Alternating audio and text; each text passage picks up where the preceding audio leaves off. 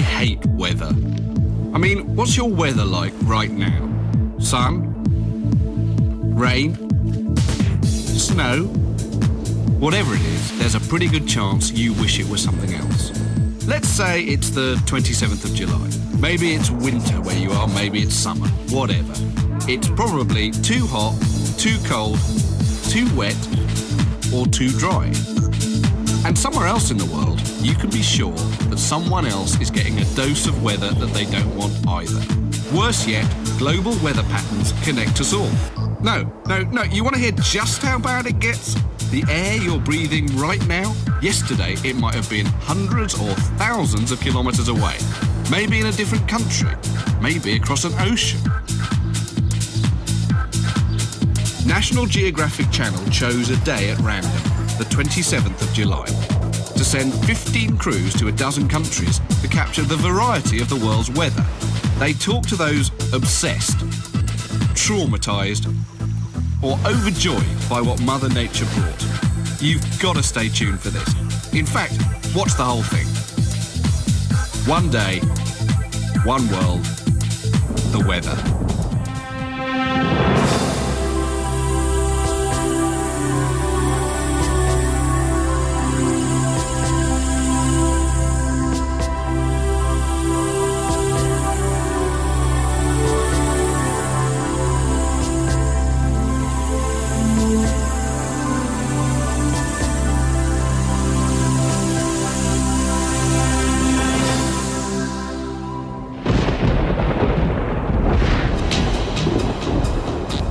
If you're a normal human being, relying on your sense of observation, you'd have to think there's no rhyme or reason to weather.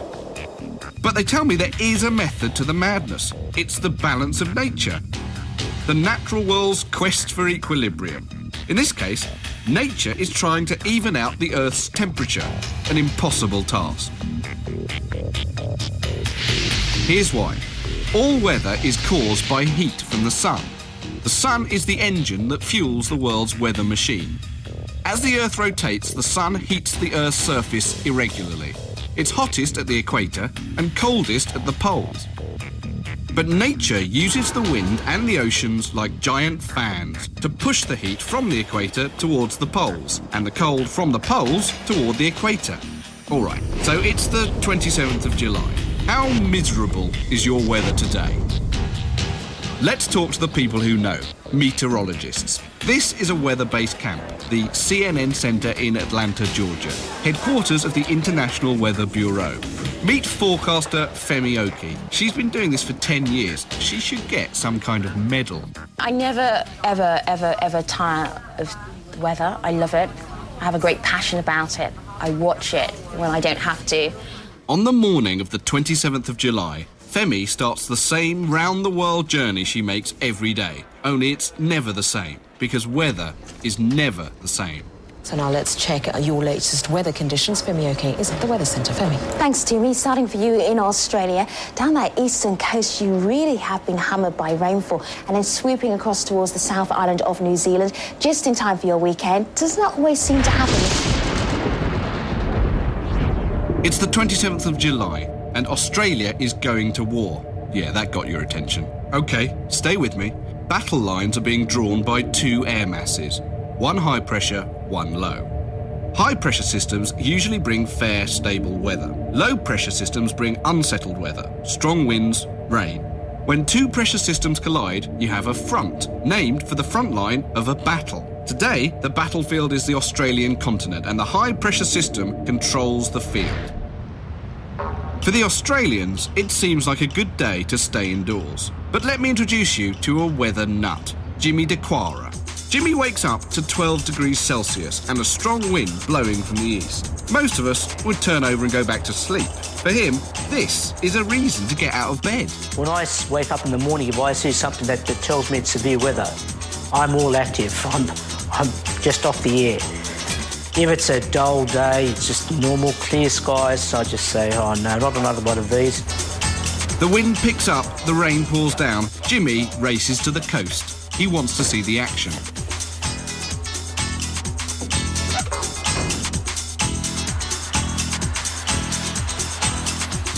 Jimmy shouldn't be outside today at all. This is a clash of the titans. Torrential rains, winds, waves pounding the shoreline. What is he, crazy? I think the answer is obvious. The battle continues until the high pressure routs the low right out of the area. Where does it go? To New Zealand, some 2,000 kilometres to the east. Still on the 27th of July, the advancing high pressure system chases the low down here. But it's colder in Kiwi land, so it snows instead of rains. In fact, July is the coldest month of the year in New Zealand. It's frigid in the windy, snow capped Southern Alps, 5 degrees Celsius. And more snow is on the way.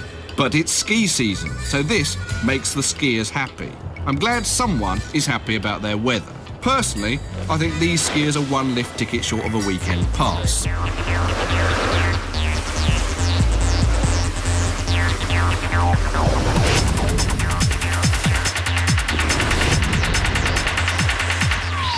Here's a weather fact to use at your next party.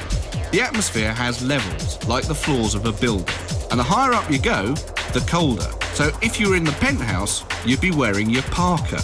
Treble Cone Ski Resort is definitely Parka territory. It's 2,100 metres up. So, for the most part, this time of year, any moisture in the air that falls, falls as snow. They get a lot of snow. I mean, enough snow to bury a house up to its second floor windows. I'm going to tell you something else to make you the life of the party.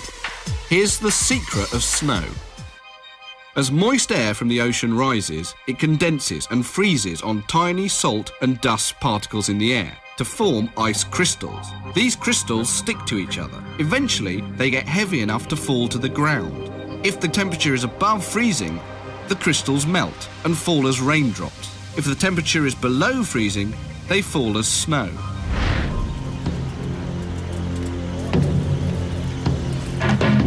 Some people find snow pretty. Some find it fun. I don't. Snow can be deadly. And I'm not talking about a badly aimed snowball here. I'm talking avalanche. Here's how it works. Every storm adds another layer of snow to this ice cream cake they call ski slopes. Depending on the temperature, the layer might be as hard as icing or as light as powdered sugar. Put this lopsided cake on the side of a mountain, and you'd better start singing Happy Birthday, because it could be your last one. Oh, and sing softly, because the slightest vibration can start the slide. Avalanches kill an average of 150 people worldwide every year. Most victims asphyxiate within 30 minutes of being buried. Often, their warm breath melts the snow, and when the snow refreezes, it creates a suffocating death mask. Today, lead ranger Mark Sev is trying to keep an avalanche from happening. He looks for the areas most likely to slide.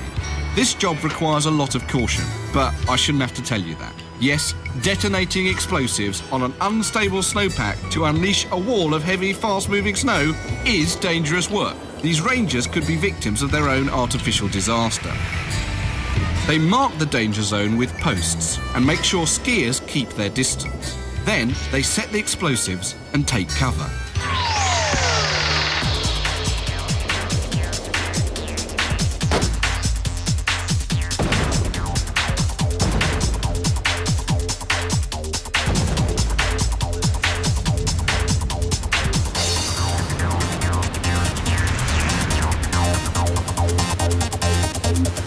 Okay, this time they escape with their lives. The bombing is a success. The danger is diminished for skiers. I think Mark and his buddies deserve a paid vacation to someplace warm and sunny.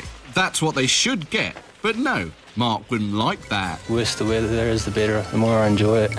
Um, I've spent a lot of my life in the mountains and it amazes me every bad storm we get and I just think it's Mother Nature. It's beautiful.